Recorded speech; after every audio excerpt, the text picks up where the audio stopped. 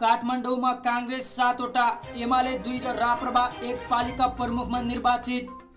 चुनावमा असहयोग गरेको आरोप राप्रपा बजाङले गर्यो नौजनालाई कारबाही। एक लाख सडतिस हजार मत गनिसक्दा झन्डै उन्नाइस हजारको अन्तरले बालेन अगाडि दोस्रो स्थानमा सिर्जना सिंह। काठमाडौँ महानगर प्रमुखमा बालेन शाह जित नजिक हुँदा उनको पुर्ख्यौली गाउँमा खुसियाली। पेट्रोलियम पदार्थ लगायतमा सरकारले गरेको मूल्य वृद्धि फिर्ता गर्न राप्रपाको माग। केही ठाउँमा स्वतन्त्र उम्मेद्वारले जित्दैमा राजनीतिक दलहरू नै सकिए भन्न मिल्दैन भन्दै काङ्ग्रेस प्रवक्ता। एमाले सङ्घको सहकार्य फापेन अब एक्लै लड्छौँ कमल थापा। विराटनगरमा मेयरले कर घटाउने उपमेयरले हिंसा निवाकरण कोष बनाउने यस्तो खुलासा। रेणु दाहाललाई एघार हजार बढी मतान्तरको अग्रता भरतपुर महानगरपालिकाको उपमेयरमा चित्रसेन अधिकारी विजयी। काङ्ग्रेसका प्रवक्ता भन्छन् निर्वाचनमा एमाले धाँधली गर्यो। भरतपुरमा एमालेका कार्यकर्ताले धाँधली गरेपछि रोकिएको मतगणना पुनः सुरु। दर्शकबिन अब सुन्नुहोस् पुरा समाचार।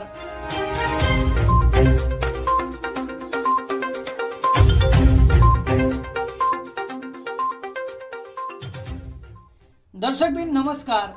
स्वागत छ यहाँहरूलाई। यहाँहरू माझ पुनः पनि आजका महत्त्वपूर्ण खबरहरू लिएर उपस्थित भइसकेको छु।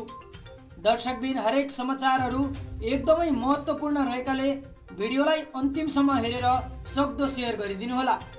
र साथै तपाईँ कुन देशबाट हेर्दै हुनुहुन्छ तलको कमेन्ट बक्समा गएर आफ्नो प्रतिक्रिया दिन भने नबिर्सिनुहोला।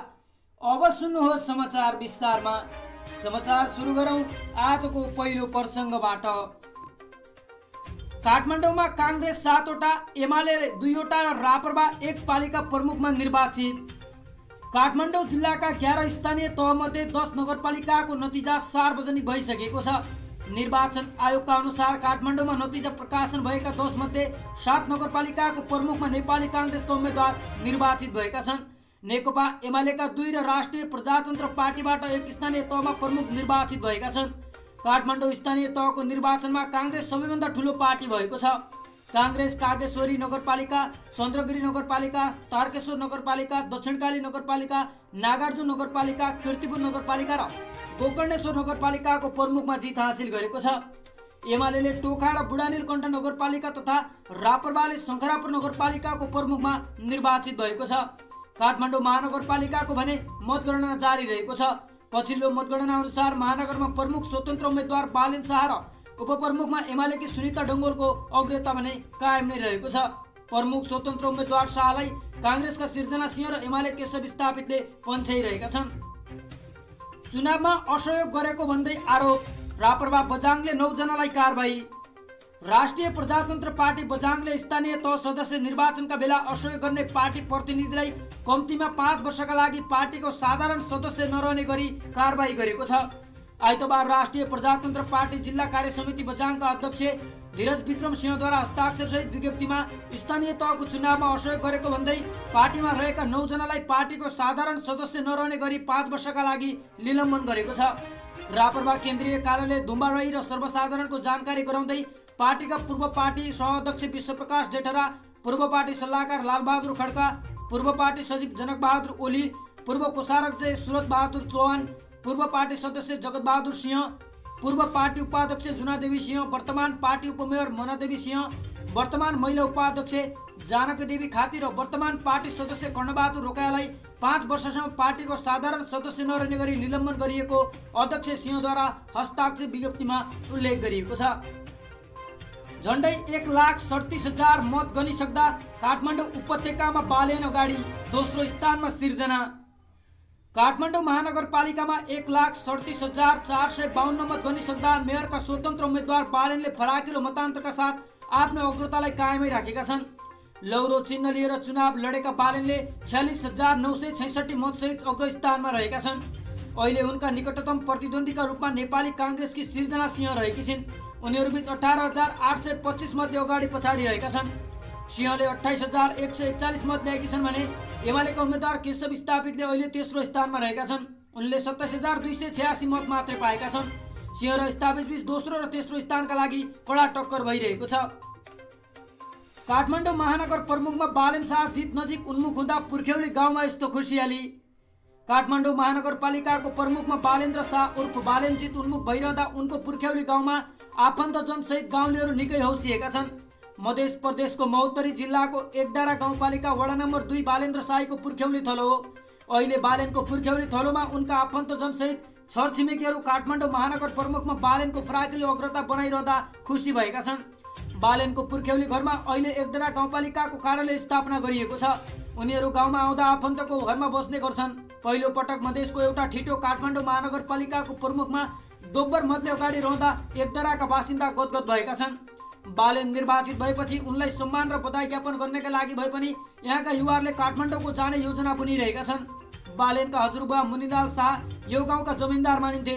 मुनिलालका छोरा डाक्टर रामनारायण शाह करिब चार दशक अघि नै काठमाडौँको सिंहदरबार स्थित आयुर्वेद औषधालयमा चिकित्सकको रूपमा काम गर्न गएका थिए। केही बेलादेखि उनी काठमाडौँ बसोबास गर्दै आएका छन्। पेट्रोलियम पदार्थ लगायतमा सरकारले गरेको मूल्यवृद्धि फिर्ता लिन राप्रबाको माग। राप्रबाले पेट्रोलियम पदार्थ लगायतमा सरकारले गरेको मूल्यवृद्धि फिर्ता गर्न माग गरेको छ। आज अध्यक्ष राजेन्द्र लिङ्गदेनले विज्ञप्ति निकालेर पेट्रोलियम पदार्थ र खाना पकाउने ग्यासमा भएको मूल्यवृद्धि अव्यवहारिक तथा आपत्तिजनक भएको उल्लेख गरेका छन्।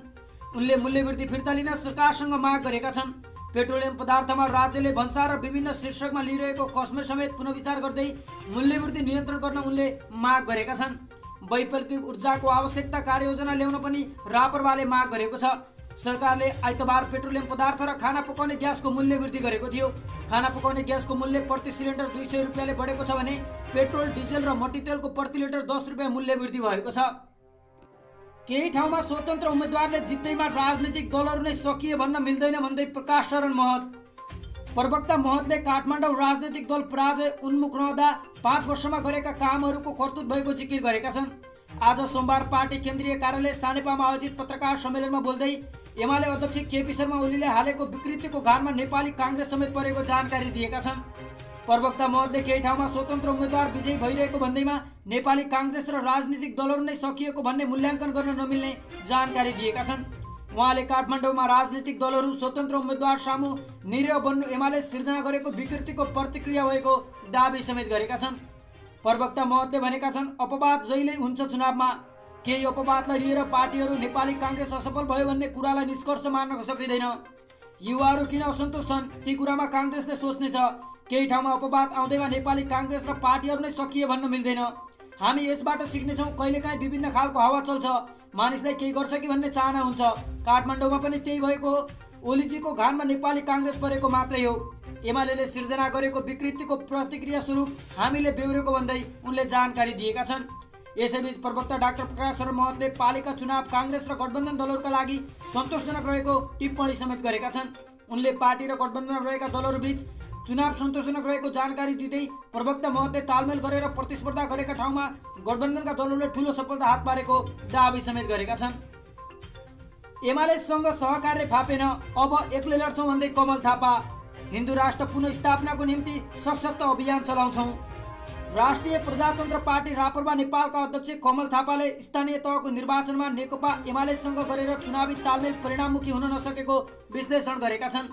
काठमाडौँमा सोमबार आयोजित केन्द्रीय कार्य सम्पादन समितिको बैठकमा प्रतिवेदन पेश गर्दै थापाले एमालेको उदासीनताको कारणले निर्वाचनमा उपलब्धि प्राप्त गर्न नसकेको जानकारी दिएका छन्। हालै सम्पन्न स्थानीय तहको निर्वाचनमा हाम्रो कुनै महत्त्वकाङ्क्षा र अपेक्षा थिएन। पार्टी खडा भएको छोटो अवधिमा नै चुनावमा जानुपर्ने बाध्यात्मक अवस्था थियो। हामीले चुनावमा भाग नलिन पनि सक्थ्यौँ तर चुनाव बहिष्कार गर्दा गलत सन्देश जान्थ्यो।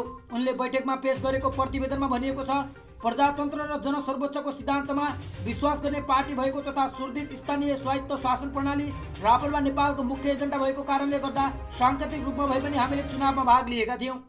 चुनावमा एमालेसँग सहकार्य गर्ने निर्णय व्यावहारिक र रणनीतिक रूपमा ठिक भए पनि एमालेको उदासीनताको कारण स्थानीय स्तरमा सहकार्य अपेक्षाकृत परिणाममुखी हुन नसकेको उल्लेख गरेका छन्। स्थानीय तहको चुनावमा प्राप्त अनुभवबाट पाठ सिकेर आगामी संसदीय निर्वाचनको तयारीमा जुट्नुपर्ने उनले जानकारी दिएका छन्। हिन्दू राष्ट्र पुनस्थापना रापरमा नेपालको मुख्य एजेन्डा भएको उल्लेख गर्दै निकट भविष्यमा नै हिन्दू राष्ट्र पुनर्स्थापनाको निम्ति पार्टीले देशव्यापी सशक्त अभियान सञ्चालन गर्ने समेत उनले जानकारी दिएका छन्। सकेसम्म सर्वपक्षीय राष्ट्रिय सहमतिको आधारमा वर्तमान संविधानमा संशोधन गरी पूर्ण धार्मिक स्वतन्त्र साहित्यको हिन्दू राष्ट्र पुनर्स्थापना गर्ने प्रयास गर्ने उल्लेख गरेका छन्। धर्मनिरपेक्षका वा हिन्दू राष्ट्र भन्ने विषयमा जनताको प्रत्यक्ष अभिमत बुझ्न राष्ट्रिय जनमत सङ्ग्रह गरियोस् भन्ने मागसहित जनसङ्घर्ष गर्ने चेतावनी समेत दिएका छन्। आगामी संसदीय निर्वाचनबाट रापरबा नेपाललाई कम्तीमा पनि राष्ट्रिय पार्टी बनाउने हाम्रो तत्कालीन उद्देश्य हुने उनको भनाइरहेको छ।